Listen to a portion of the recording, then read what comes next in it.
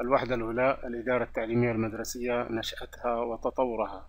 محتوى الوحدة الأولى أول مفردة نشأة الإدارة التعليمية وأهميتها. نتحدث عن نشأة الإدارة وأهميتها بشكل عام حيث مارس الإنسان الإدارة منذ وجد على وجه الأرض. فالإدارة ليست حديثة ولم تكن من إبداع عصرنا ولم تظهر بمفهومها العلمي إلا بداية القرن العشرين. وسنتحدث عن الإدارة كعلم له أصوله ومبادئه كأول مفهوم للإدارة ظهر في العقد الأول من القرن العشرين للتعبير عن العمليات والإجراءات التي يتم من خلالها استغلال الموارد البشرية والإمكانيات المادية للوصول إلى أهداف محددة. وسنتحدث برضو في هذه الوحدة عن مفهوم الإدارة حيث ستتم الإشارة إلى مفهوم الإدارة للتعبير عن مجموعة العمليات التي يتم بمقتضاها وضع الإمكانيات البشرية والمادية وتوجيهها لتحقيق أهداف الجهاز الذي توجد فيه.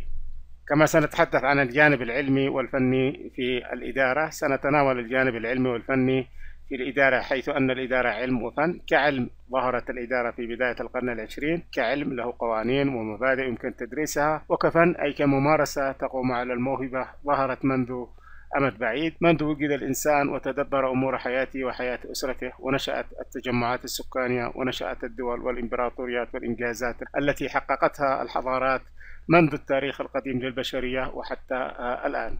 في مجالات الإدارة سنتحدث آه، عن آه، قطاعين من قطاعات المجتمع من منطلق الإشراف عليها وإدارتها وهما القطاع العام الذي تشرف عليه الدولة ويمارس فيه الإدارة العامة والقطاع الخاص التابع لرجال الأعمال من الأفراد والمؤسسات والذي يمارس فيه إدارة آه، الأعمال.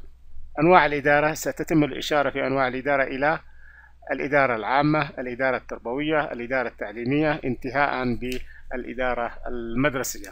في نشأة الإدارة التعليمية وتطورها ستتم الإشارة إلى الاهتمام الذي ظهر آه، بالإدارة التعليمية منذ عام 1946 وحتى عام 1959 بأمريكا من خلال الدعم المخصص من مؤسسة كولوجيا الأمريكية. وظائف الإدارة المدرسية سنتحدث في وظائف الإدارة المدرسية عن ثلاث وظائف للإدارة المدرسية وهي وظائف آه، يتم بمقتضاها تصنيف النشاطات التي تتحقق من وراءها الأهداف التربوية في المدرسة.